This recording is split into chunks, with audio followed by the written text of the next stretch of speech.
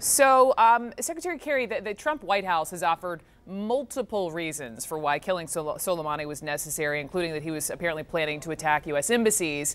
But when you listen to several lawmakers, you know, they're now publicly stating that that's not what they were told in those briefings this week. And I want to play some sound for you, sir. Just take a listen to one of them. This is Hawaii Senator Mazie Hirono and then Secretary of State Pompeo from just this morning. Here you go. We had specific uh, information on an imminent threat and those threat stream included attacks on U.S. embassies. Period. Full stop. President Trump claimed that Soleimani was actively planning new attacks and looking at attacking U.S. embassies, not just in Baghdad. Did you see intelligence saying that? No.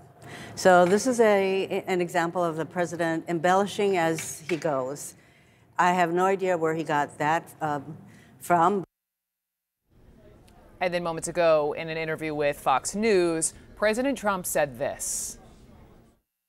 Don't the American people have a right to know what specifically was targeted without revealing methods and sources? Well, I don't think so, but we will tell you that probably it was going to be the embassy in Baghdad. Did they have but large scale attacks planned for other embassies? And if those were planned, why can't we reveal that to the American people? Wouldn't that help well, your I can, case? I can reveal that I believe it would have been four embassies. So the president now claims four embassies were targeted after previously saying one. He has offered no proof on any of these claims and is going further than his national security aide. So, Secretary Kerry, is this administration credible? Well, I think everybody in the country understands the president has consistently uh, either told the truth or embellish, as you said.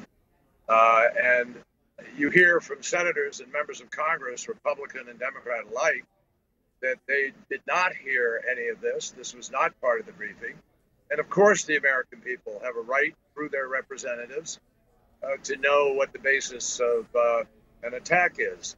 But, but more importantly, if the president, you know, he started out his speech yesterday saying uh, that Iran will not get a nuclear weapon. Well, if, if he hadn't pulled out of the agreement, that would be one promise that he actually had already kept because they didn't have one and they weren't about to get one and they couldn't get one without the United States knowing it or any of our allies at the same time.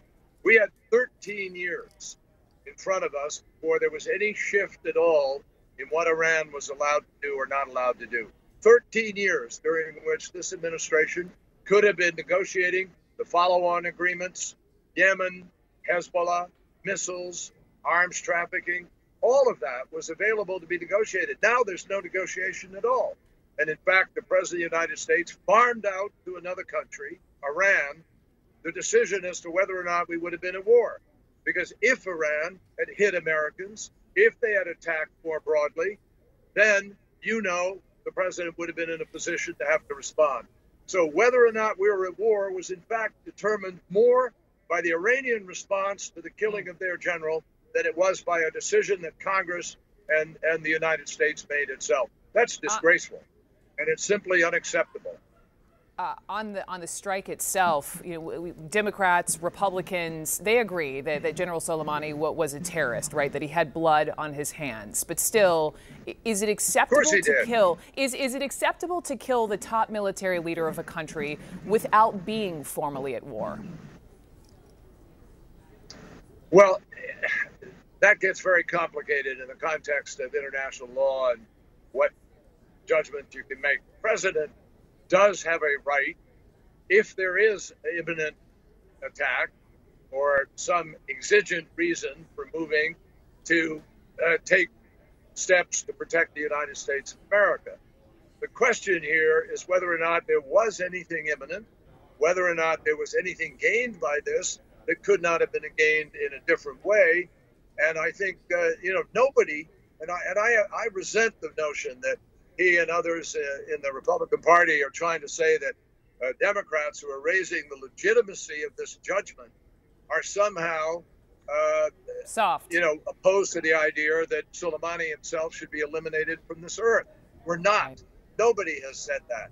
Everybody understands that Soleimani uh, has blood on his hands of Americans, and and and nobody's mourning the fact just bluntly that he's dead But they are upset by exactly what I just described that the hmm. subsequent events that flow from that kind of a choice were sufficient that Republican and Democrat presidents alike previously who had the option did not think it was worth taking that risk.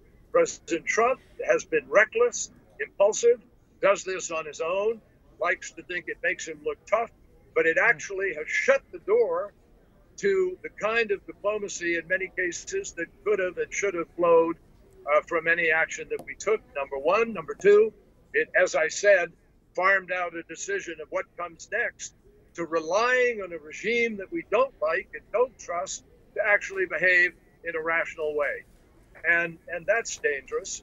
And moreover, the president has alienated our allies, the people who have been trying to stay in this agreement because they know that the agreement is sound and it's working.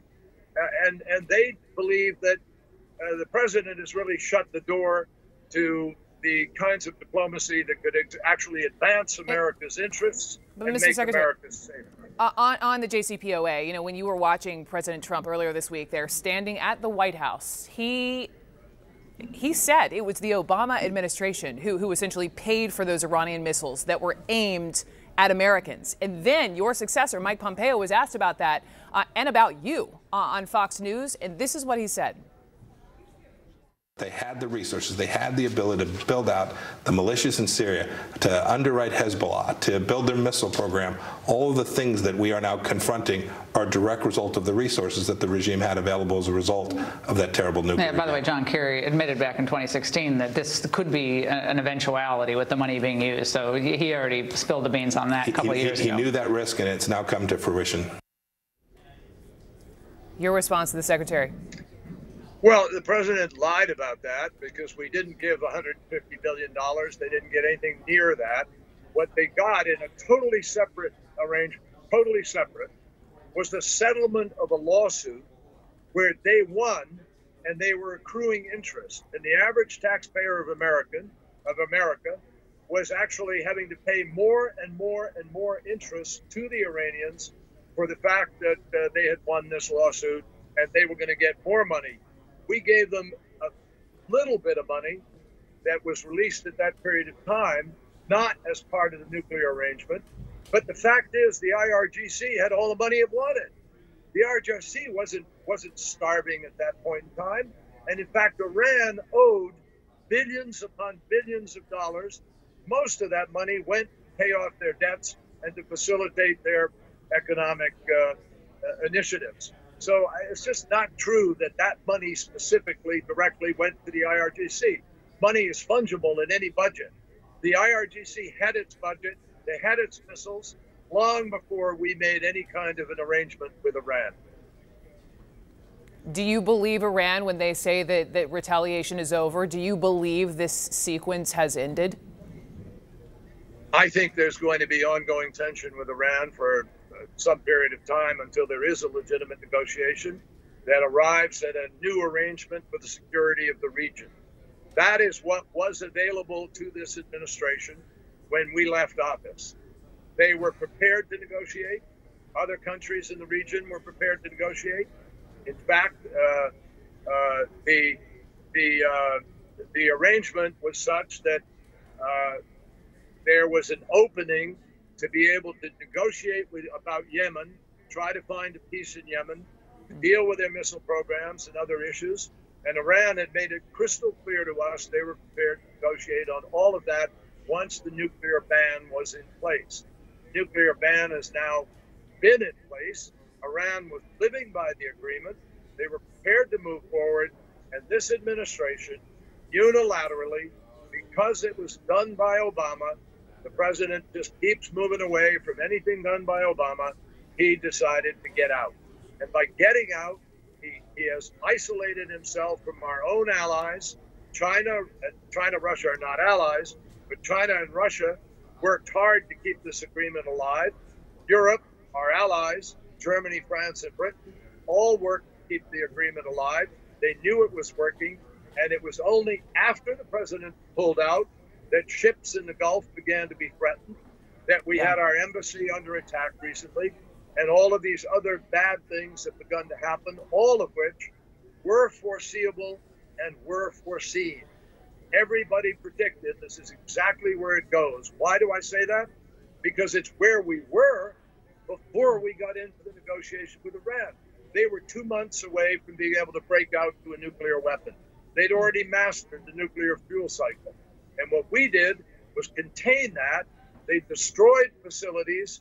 They joined into the agreement, and only Donald Trump broke it apart and brought about this confrontation. One more quickly, Mr. Secretary, then I want to take a commercial break. But something you just said, you know, the fact that this president brings up former President Barack Obama as much as he does, why do you think he seems obsessed with the man? I, I can't answer that. Uh, it has to do with his character and a lot of other things. You'd have to talk to people who are hmm. professional psychiatrists or others. I'm sure they have answers for it.